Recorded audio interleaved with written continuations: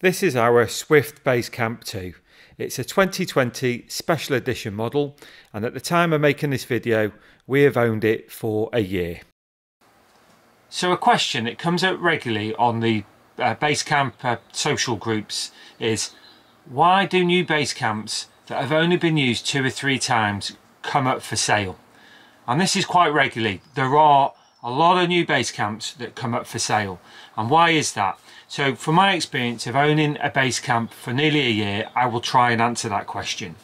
So if you're looking to buy a Swift base camp or you're um, you've just bought one and you're feeling a little bit unsure about it, maybe this video would be helpful. So let's start with the dream. The dream is that you're going to buy a caravan and that you're going to tour the country and have a great time discovering new places in the United Kingdom. The reality of that can be quite different when you're new to caravanning, as I found out when I bought this base camp. This was my first caravan and I was not aware or ready for what's involved when you get when you get one. So let me explain. So you've bought your base camp, it's the first time you're going out on it. Let's talk about what's involved in a, in a, in a broad level. So firstly, you're going to obviously pack your base camp. You're going to pack your caravan, as you would do if it was a camper van or a motorhome. But with your caravan, you're going to need to hitch it to your car. So in my case, I need to pull it up the drive first using the motor mover to get it positioned behind the car. And then I will hitch it to the car. I will need to connect the electrics um, and then put the towing mirrors on the, on, the, on the side mirrors of the car and then I'm ready to tow. Next is the process of towing the caravan to the chosen destination. Now when you're new to caravanning, as I was, that's quite stressful in itself because you realise that you've got this expensive asset, it's on the back of your car and you as the driver are fully responsible for it. So that's quite stressful at first. You then arrive at your campsite, you find your pitch and you then need to unhitch the caravan and then get it on the pitch. Now you'll either reverse it on or you'll use the motor mover as I do to get it on the, on the pitch. Next you need to go round and put the four steadies on. Now all caravans have a steady, eh, two at the front, two at the back, so you need to lower those.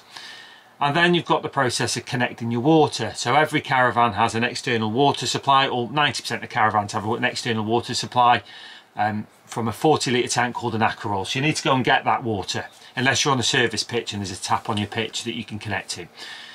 You then need to, you know, hook up your grey water, which is for your shower and your sinks.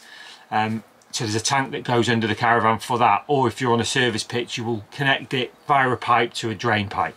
You then need to set your toilet up, put the chemicals in the in the toilet uh, cassette, and then put your flush in.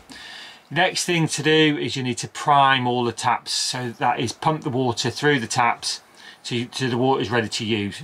And maybe switch your hot water on if you want to. So there's quite a bit to do when you first arrive on site. And then you might also have an awning. So if you've got an awning, you need to put, put that up as well. Now they are quite straightforward to put up awnings, but if it's windy, sometimes you can have them up in 20 minutes, sometimes it can take an hour. So you have the awning to put up if you choose to have one. So as I was saying, there's quite a lot to do. And then, you know, you're ready to enjoy your weekend break or your holiday, your week away, whatever it is you do. So at the time of making this video, I am six days away from departing for a week-long trip touring the west coast of Scotland. So I'm already preparing the base camp. So let's go inside and have a look where we're up to so far.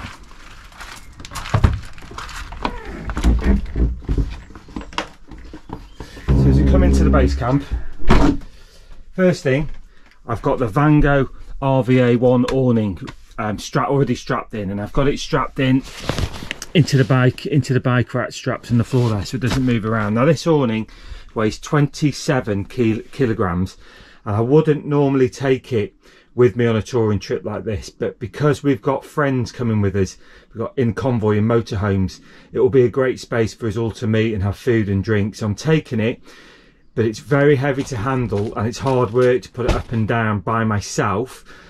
Um, so I'm going to have to take that up and down six times during this trip as we're on three different sites. So it's just quite a bit of work for me to do. And then over here, I've already got the um, the 24 inch smart TV strapped to the bench seat. But again, it's just another job to do as we're, we're uh, uh, leaving and, and, and departing and arriving at site. It's just another job to do.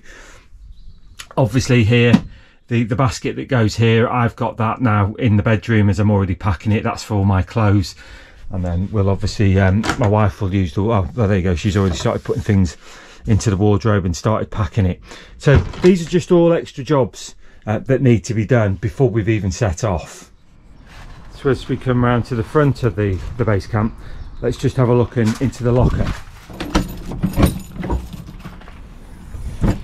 So as we come into the front locker, so they're the towing mirrors that I put on the car the day before we leave. And in the corner here, I've got an extension lead, which I'll run from the external um, socket on the base camp into the awning so our friends can charge their phones and, and, and devices should they need to when, when, when we're chilling out in the awning. I've already swapped out the um, six kilogram propane tank for a fresh one, so that's full because we'll be running the Ooni and the Cadac barbecue off that, off the base camp. In here will be the wheel lock, so the security, I've got to take that on and off each time we arrive and depart at a pitch, so that's more jobs to be done. I've got the 10 metre um, electric cable, and then here I've got a 25 metre electric cable. Now obviously the 10 metre electric cable is easier to put in and put away than the 25 metre, but still it's a job that needs to be done. And here I've got the, the feet stocks, um, should we not be level, and here I've got the um, the hitch lock that will, I won't use that if the campsite have got a barrier so I probably won't need to use that. And underneath there I've got the levelers should the pitch not be level. And then I've got all my water connections for um, filling the Aquaroll or connecting to a service pitch. And then obviously then I've got the motor mover um, lever and then the, the, the steady the steady device for raising and lowering the steadies. And then finally I've got a doormat there for wiping the feet when we go into the awning. So these are all jobs that need to be done. Just something to consider. And finally there I have the Aquaroll and the Wastemaster ready to be packed. The Aquaroll will go in the boot of the car the Wastemaster will go in a bag and will be strapped into the base camp on the floor but again more jobs to be done so now it comes to the end of your holiday and it's time to prepare to return home so you're doing everything in reverse. So you'll take your awning down and pack that away. You'll unhook your electrical cable and pack that away. You now need to drain off your Aquaroll if you've got any water left on it. So you need to take that to a, to a drain if there's not one on your pitch. And the same with the grey water tank, which is under the base camp or under your caravan. You need to take that and drain that off. There's then the lovely job of the toilet cassette. Um, it, which does get better by the way. Once you've done it once you've done it a million times. Um, but that needs to be done. And you may have done that a couple of times whilst you whilst you've been on site already. You then need to um, pack the pack the caravan up ready to go home. You've got everything packed away. You then need to put your four four steadies up Hit, hook up your motor mover engage your motor mover and position the, the, the caravan ready to be hitched back to the car you then need to hitch it back to the car, connect the electrics, ensure that you you disengage your motor mover and everything's secure, ready to be towed. And then you tow the, uh, the base camp back to your home or to your storage yard. And in my case, I get it back on the on the on outside my house. I need to unhitch it and then I'll use the motor mover to put it back down my drive. And then all that's left for me to do then is put the steadies down and disengage, disengage the motor mover. And broadly that's it job done. I'll then unpack it and then clean it afterwards. So there is a lot to do. It, there is a lot to do. So when you first get it that is a lot. And the first two or three times I've been out in it I was coming back absolutely exhausted and and on reflection that that's what I now call the pain barrier. So you've you've spent a lot of money on your caravan or in this case a, a base camp. You've gone out on it a couple of times. You found there's a lot to do that you weren't expecting and you, are in that place where you're not sure if it's for you or not. And I think personally believe that that's the point that a lot of new owners decide to sell them however from my experience and, and I can promise this that if you push through that pain barrier and you just continue to use it by the time you've used it five or six times it just becomes routine. Now my wife and I have been out in this over a dozen times now and we just enjoy it. We really enjoy it. It's become easy, it's become routine. I actually enjoy all the preparation, towing it, preparing it. Um, it's just there is a pain barrier to go through and it, you just have to push through it.